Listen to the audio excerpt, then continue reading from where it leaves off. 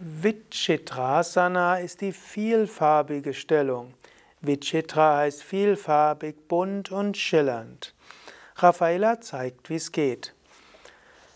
Halte die Fußsohlen zusammen, hebe die Füße etwas hoch, fasse mit den Händen um die Füße, falte die Füße und strecke die Daumen nach oben aus.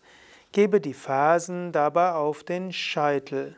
Schaue zum Punkt zwischen den Augenbrauen. Das ist Vichitrasana, die schillernde Stellung.